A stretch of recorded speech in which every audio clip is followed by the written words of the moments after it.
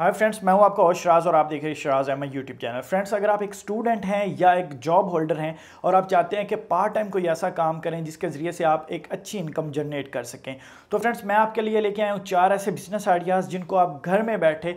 थोड़ा सा टाइम देकर एक अच्छी इनकम जो है वो जनरेट कर सकते हैं। तो फ्रेंड्स सबसे पहले नंबर पर हमारे पास जो बिज़नेस आइडिया आता है, वो है जी बर्ड्स यानी कि आप बजरी, जिनको हम ऑस्ट्रेलियन बर्ड्स बोलते हैं लव बर्ड या कॉकटॉल इनमें से कोई भी बर्ड्स जो हैं, वो आप अपने घर के अंदर एक छोटा सा पिंजरा बनाकर उनके अंदर रख सकते हैं। सिंपली आपको क्या करना होगा डेली बेस पे दस से पंद्रह मिनट देने होंगे, जिसमें आपने सिंपली ये चेक करना है कि उनके आगे खुराक और पानी मौजूद है या नहीं है। इसके अलावा आपको कुछ नहीं करना होगा। इसके बाद जो है फ़र्स्ट दो से तीन मंथ जो है, वो आपके इतनी ज़्यादा अर्निंग नहीं हो सकेगी, क्योंकि स्टार्टिंग में ये इतने अंडे वगैरह नहीं देते जिसकी वजह से बच्चे नहीं निकलते। लेकिन जैसे जैसे इनको टाइम गुजरता जाता है तो ये बहुत ज़्यादा अंडे देते हैं जिसकी वजह से बहुत ज़्यादा बच्चे निकलते हैं, जिनको आप ईजिली मार्केट के अंदर सेल कर सकते हैं। फॉर एग्जाम्पली शॉप्सकीपर जो हैं, वो कोई भी जो बजरी है या लव बर्ड है या फिर जो कॉकटॉल है, इनमें से मिसाल के तौर पर बजरी का रेट अगर मार्केट के अंदर एक हज़ार रुपये चल रहा है तो आप इजीली उन दुकानदारों को उनका जो जोड़ा है, वो आठ सौ रुपये में सेल कर सकते हैं। इस तरह से आप इनकी बहुत ज़्यादा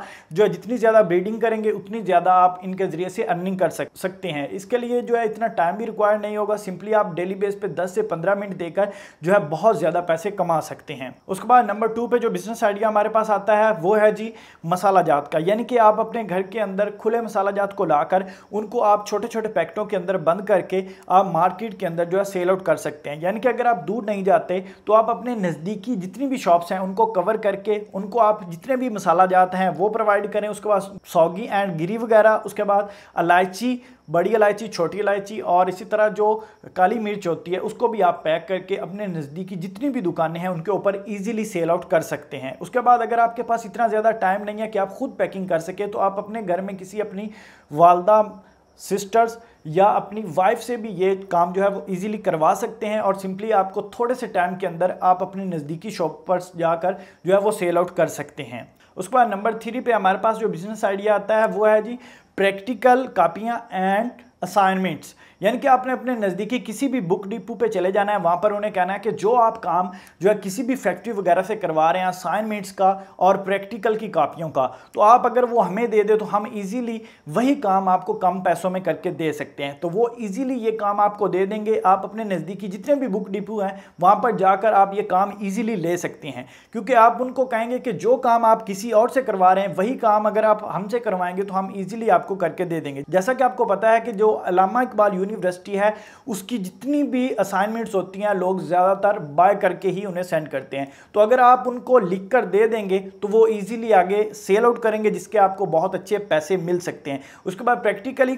कापियों की बात की जाए तो जैसा कि आपको पता है, जो एट्थ नाइन्थ एंड टेंथ के स्टूडेंट होते हैं, उनकी जो प्रैक्टिकल की कापियाँ होती हैं हंड्रेड परसेंट जो स्टूडेंट्स होते हैं, वो खुद क्रिएट नहीं करते, वो बुक डिपूज से लेते हैं। तो बुक डिपूज वाले जो होते हैं, वो बड़ी बड़ी कंपनियों से ये काम करवा रहे होते हैं ऑलरेडी उनके नज़दीकी ये काम तो कोई पर्सन कर नहीं रहा होता, जिसकी वजह से वो उनसे काम करवा रहे होते हैं। अगर आप यही काम उनसे लेते हैं और उन्हें कहते हैं कि हम ये कम पैसों के अंदर आप लोगों को काम करके दे देंगे तो वो ईजिली ये काम आपको दे देते हैं। इससे ये होगा कि आप अपने घर पर रह के ही ये काम अपनी स्टडी के रिलेटेड या अपनी जॉब के रिलेटेड यही काम करके जिससे आपकी जो एजुकेशन है उसमें भी इजाफा होगा और आप अपनी जो है एक अच्छी खासी इनकम जो है वो जनरेट कर सकेंगे। उसके बाद नंबर फोर पे हमारे पास जो बिज़नेस आइडिया आता है, वो है जी ऑनलाइन जैसा कि आपको पता है कि बहुत से लोग जो है ऑनलाइन काम करके पैसे कमा रहे हैं, लेकिन बहुत से लोग ये समझते हैं कि ऑनलाइन जो फ़ील्ड है उसके अंदर बहुत ज़्यादा फ्रॉड है। तो काइंडली मैं आप लोगों को बताना चाहूँगा, इसमें आप यूट्यूब फाइवर अपवर्क या फ्रीलांसिंग इनमें से कोई भी प्लेटफॉर्म चूज़ कर सकते हैं जिसके ऊपर आप